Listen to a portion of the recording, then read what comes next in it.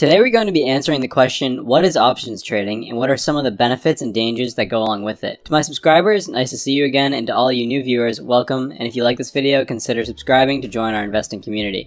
To put it simply, options contracts are purchasable assets that give you the right but not the obligation to buy or sell 100 shares of an underlying asset at a set price on or before a specified date. Common uses for options trading include income generation, leverage, and to try to reduce risk.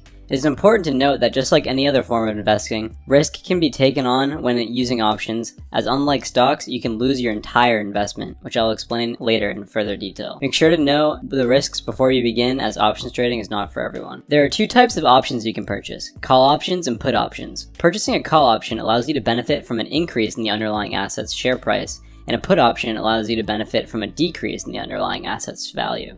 In this video, we will go over call options. By definition, call options are financial contracts that give the option buyer the right, but not the obligation, to buy a stock, bond, commodity, or other asset or instrument at a specified price with a specific time period, or expiration defined by the contract. This usually represents the right to buy 100 shares for each contract. To explain in simpler terms, let's use an example using AT&T stock which is currently trading at $29 at the time of recording, January 18th, 2021. Let's say this investor named Bob owns 100 shares of AT&T stock. Bob thinks that AT&T won't rise above $31 by the time of January 29th and wants to generate more income. Another investor named Dave, however, thinks that AT&T will go above $31 by January 29th, but he doesn't want to invest enough money to buy 100 shares outright, yet he still wants to profit from the movement of AT&T. So, what do they do? They both get involved in options trading. In this case, Bob sells a call option contract that represents 100 shares that will expire January 29th with a strike price of $31. Dave agrees to buy this contract from Bob for 15 cents a share times 100 shares, since one contract represents 100 shares for a total cost of $15. Now how do either of them profit? Well, first to understand this, let's go over what the strike price and expiration means. The strike price is the set price at which you can buy the underlying stock if you want to use the option. An example of this would be if Dave wanted to buy, he would buy 100 shares at $31 if AT&T is trading above $31 for a total of $3,100 because 31 is the strike price. The expiration is the date that the contract must be used by at the end of the trading day, and if it isn't, this option expires and can no longer be used. Let's go over a few scenarios of what could happen and who would benefit, and I'll explain more along the way. The first scenario is if the price of AT&T was to stay below $31 from today until January 29th the expiration. Dave would own a contract that allows him to buy 100 shares of AT&T at $31, which he would never want to use since he would be paying more for the stock than it is currently worth, since he can buy it for $31 but it's trading below it. In this case, the contract would be considered to be expiring worthless, and Dave would lose his initial investment of $15. Bob, on the other hand, who was paid $15 from Dave, is very happy as he made his money and has no other consequences for it. Now let's look at a different scenario in which AT&T were to rise to $32 by January 29th. Let's remember, Dave has the option to buy 100 shares at the price of $31 each at or before January 29th if the price is above $31.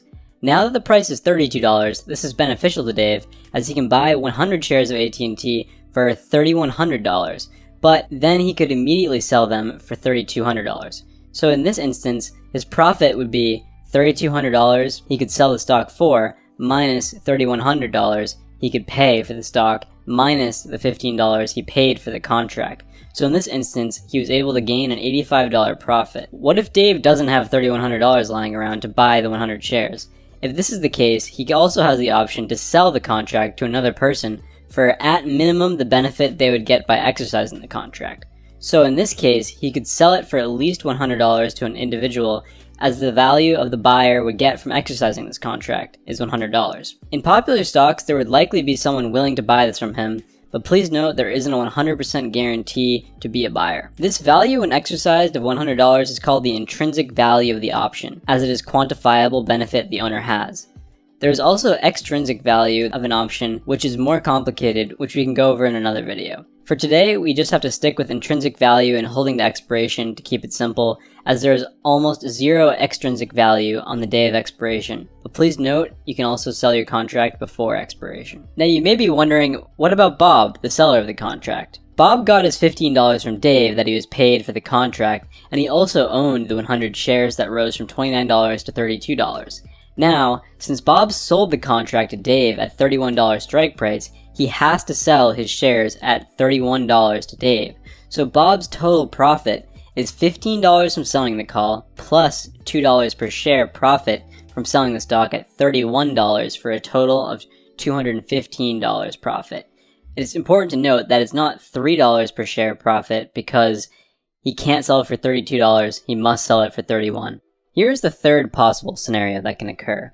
If AT&T were to rise to $31.15 by expiration, Dave, the buyer of the contract, would be able to buy 100 shares of AT&T just like before at a total cost of $3,100. And then he'd be able to sell them for $3,115 since AT&T is trading at 31.15 times 100 equals 3,115. If you remember from the last example, Dave's total profit can be calculated by showing the 3,115 he was able to sell the stock for minus the 3,100 he bought the stock for minus the $15 he paid for the contract. So in this instance, Dave's net profit and loss is $0. This is known as the break-even price, or the price at which the buyer would neither gain nor lose money at expiration. This is an important number for any options buyer to know as this is the price the stock must reach by expiration to not take a loss. This can easily be calculated by adding your contract cost per share of 15 cents to the strike price of $31 for a total of $31.15 for the break-even price. The last scenario would be if AT&T was trading between $31, which is the strike price, and $31.15, which is the break-even price on the date of expiration. In this scenario, you would not lose your entire investment, but you would lose a portion by the calculation of share price minus break-even price.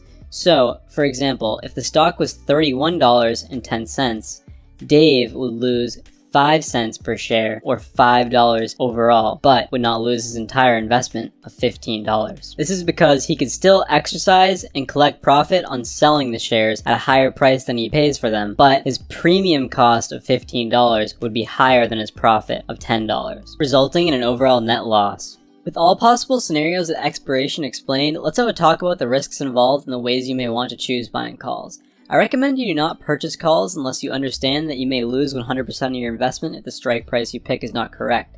I also recommend you do not buy calls unless you are experienced in normal stock investing. Unlike a normal stock, if the stock goes down below the strike price, you will lose everything if you hold till expiration, making this inherently more dangerous. You can sell early, however, and cut your losses. But this being said, if you are bullish on a stock and are correct, call options are a great way to make a profit, substantially higher than just owning the normal stock. For the stock you pick to buy calls on, I suggest you pick a stock that you completely understand, as owning options is more dangerous, so your chances of profit increase if you're more knowledgeable about the company you're investing in. As for the strike price you select, this depends on how bullish on the stock you are. Contracts with strike prices that are high above the current trading price are generally cheaper than contracts that are closer to the current trading price. So, your potential profits could be higher with a cheaper cost, but keep in mind that the higher strike price, the higher the chance you have of your contract expiring worthless, because it's harder to reach the higher strike prices. So this chance at a higher profit comes at a great cost and a greater risk, so be sure you're confident.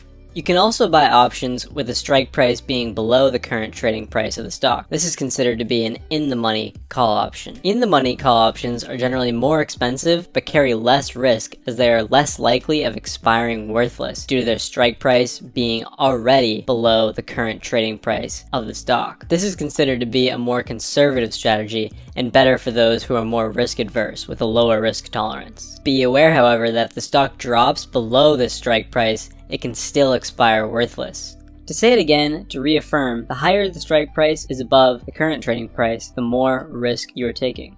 In terms of picking an expiration date, this is entirely up to you, but generally, the further out the expiration is, the less likely your contract is of expiring worthless, given the same strike price at each expiration.